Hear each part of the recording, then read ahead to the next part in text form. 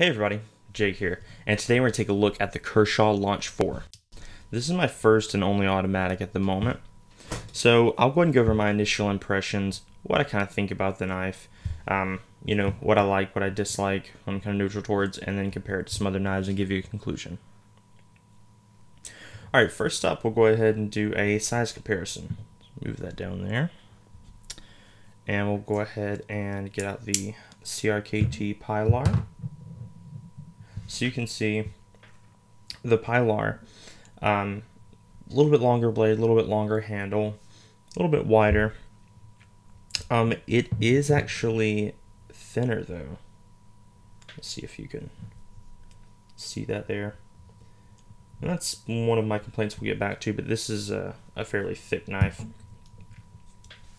Go ahead and bring out what I believe is the most compelling comparison. The Spyderco Dragonfly. So similarly sized handle. Stop shaking, bro. Similarly sized handle. It's not gonna stop it. Um, little bit longer blade. A little bit wider when it's closed. I'll show you here. But it's significantly thinner by by quite a bit.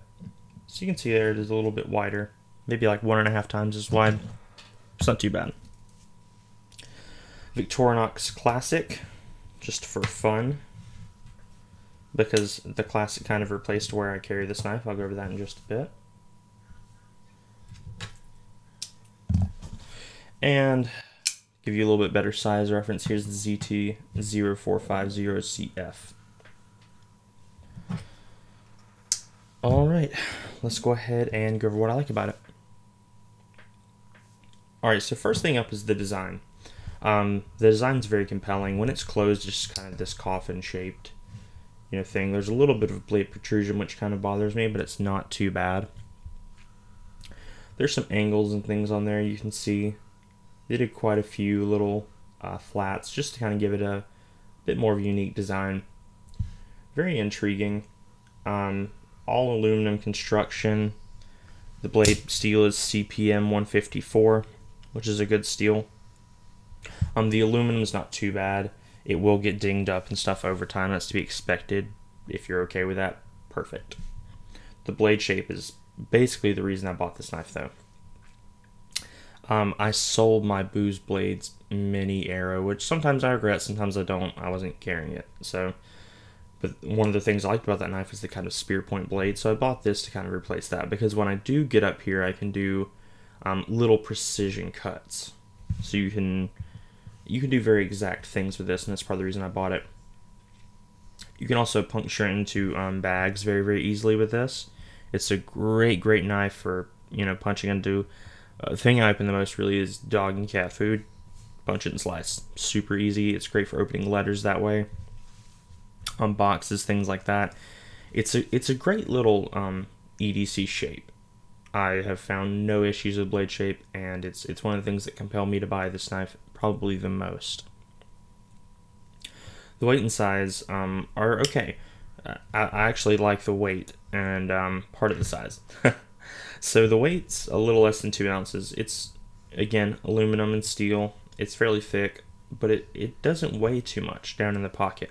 It's nice. You usually don't notice it's there. And the size overall is nice. Um, it's fairly short, fairly compact until you get to the thickness. We'll come back to that. But overall, it's, it's a really, really compelling little size for a knife. Fit and finish are great on this as well. I've handled Kershaw's in the past. The fit and finish has been okay. This is one of their American-made line. You can tell by the, the flag there. So the fit and finish is going to be a little bit better. There's no sharp edges really, even on the inside. The blade isn't even, you know, sharp on the spine, which is sometimes the case with cheaper knives. Everything's very rounded and very well finished. I like it quite a bit. They did a really, really good job finishing on this knife, and um, I think that kind of helps digest the price a little bit. Onto the neutral. Speaking of price, it's a little high. Um, the price on these are $75. It's a decent steel, it's an automatic, made in America, I get that. But I think it would be much more compelling around 50 maybe 60. I think 75 is a little high. Especially for the size and things like that, and you can get other knives in their launch line that are larger, that use more materials, and they're similarly priced. And that kind of sucks. And when you find these aftermarket, they're going for about 40 bucks. So the resale value isn't up there nearly as high as the price that you're going to be paying because everyone can kind of tell, like, hey, this is a little bit high, guys. So just keep that in mind. You're going to be paying a little bit of a premium for a few things on this, but you know. Next up, thickness. So the most compelling comparison to me is the Spyderco Dragonfly, and you can see the thickness differential is insane. It's it's extremely noticeable. It weighs more, and it's going to because you know made out of metal versus FRN or whatever the hell this is made out of. Um, it has a few advantages over the Dragonfly, but the Dragonfly just has a lot more going for it, in my opinion. And the little bit of width tax that you pay by keeping this, you know, the Dragonfly over this, really isn't all that much, in, my opinion, especially when it comes to thickness. Because when I kept this um, knife with me a lot, it was in my watch pocket, which is that little secondary pocket on the right hand side of your jeans. That has since been, been replaced by this. Um, especially because I can carry a normal size knife and that, and has a little bit more utility. It's significantly thinner. You know, it's a lot lighter. It's just smaller overall. But this is a good knife for that. It's just a little bit thick. I really think they could have cut down the blade stock a tiny bit. They definitely could have cut down the scales.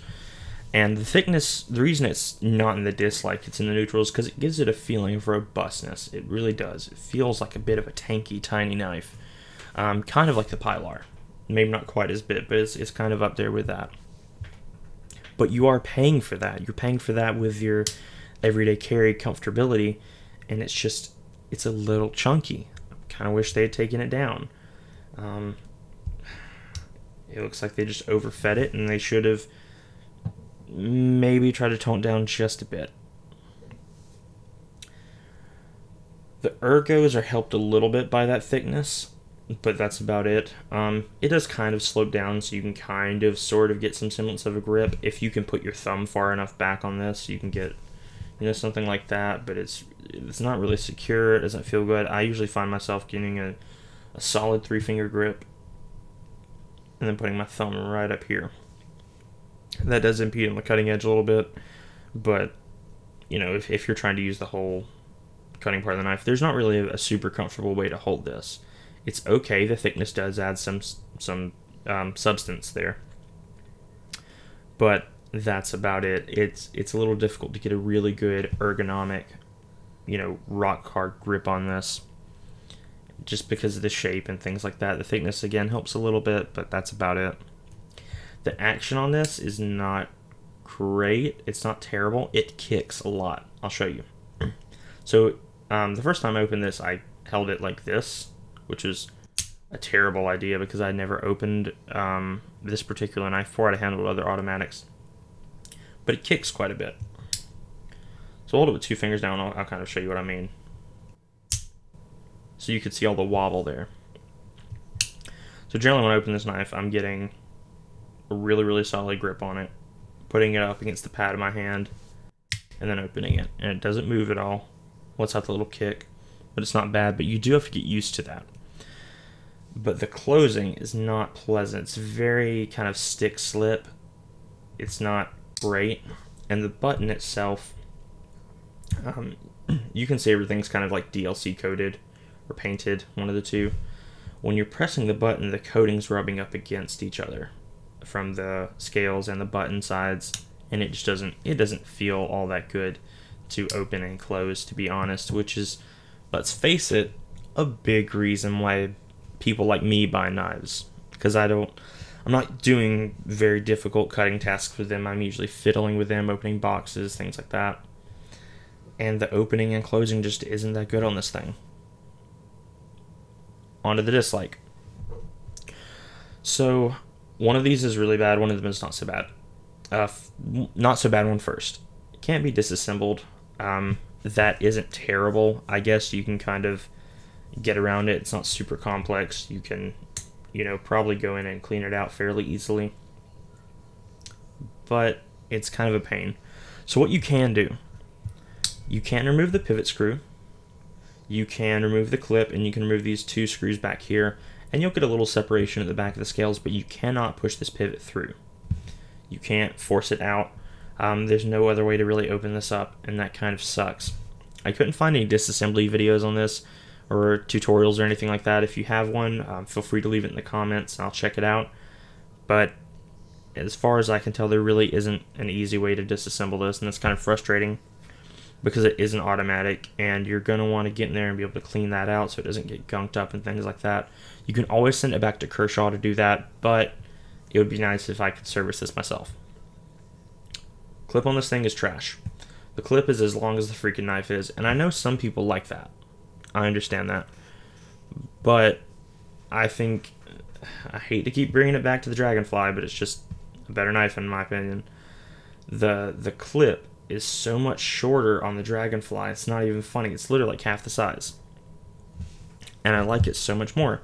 It's it's deep carry, which I love. Leaves a little bit of the knife hanging out, but it, this thing goes down the entire body of the knife, and not only does it look stupid, it's not great for ergonomics. I've tried several different clips, uh, clip styles on this, and they just I can't find one that works that well. I would like to find something small and deep carry, and mainly for that clip issue alone, it makes in the thickness, it makes carrying this just a huge pain because you do have to put it in that watch pocket or kind of let it um, I guess you can use this clip, but it's just it's just not that good. Like the clip's fine because it's the same clip on ZTO 450, literally the exact same clip. But it works on the 0450 because it's a full size knife. It's fine, and the 0450 is also quite a bit thinner than this is. But this super thick knife with this ridiculous clip, it just doesn't. I don't find carrying it to be enjoyable and I've literally contemplated selling this before just because I it's it's just a pain to carry. I'll probably keep it because it's the only auto that I own at the moment, but if I get another one, this one's probably going to be going somewhere. Alright, on to the conclusion. Conclusion is if you're looking for something exactly like this, you want an automatic, you're dead set on that, you want a, you know, a, a nice blade shape, you want good build construction, on good materials, not too worried about ergos, things like that. If you're dead set on this knife, get it. It's not terrible by any means. I would, if you can try it out first for a day or so, I would do that. If you have a friend who has one or something like that, borrow it from them, see how you like it. If you're not dead set on the auto, you just want something small with a similar-ish blade shape, go with the Dragonfly it's it's so much better. It in the pocket, it's it's not really all that different. It's a much better clip. You know, it's it's much more pleasing to open. The backlock's kind of a pain for me. I'm not a big fan of backlocks, but the ergonomics are really where this one takes it away. It has a finger choil, your hands lock right in there. I, I can even get you know a decent three and a half finger grip on this thing and really lock in, and you have more blade to work with. It's a higher grind, thinner blade stock. It's going to slice better. It's not going to be as durable. Um, it because you know the blade stock is thinner. The handles are made of a softer, cheaper material. But I would go with this one every day. This I actually carry this one. I never carry this Kershaw launch anymore. Um, I got the Dragonfly maybe a week or two after I got the launch. I think that's about right. It's been a while. Um, Dragonfly immediately took over. I, I don't carry this anymore. It sits. I've just been holding on to it, waiting to review it, and I finally decided, you know what, it's time to do that, and it's okay. That's about all I can say about it. Is it's it's okay. It's for what it is. It's it's nice, but I just don't find it to be compelling, and it probably won't be staying in my collection very long. Thanks for tuning in, guys. If you have any feedback or anything like that, leave it down in the comments. Any questions, anything, um, just let me know. If you're interested in purchasing this knife for me for whatever reason, let let me know. Hit me up with an offer and we'll talk. Um, but yeah, it's it's okay. That's about it. But check out my other videos if you're looking for something else that you might want to carry. It's in similar price range. Um, again, the Dragonfly, if you're if you're just looking for a fun one to play with, the Real Steel Metamorph is fantastic. I have a review on that one. Go check all that out, and I'll have a review of the Dragonfly coming up soon if you'd like to compare them. All right, thanks, guys.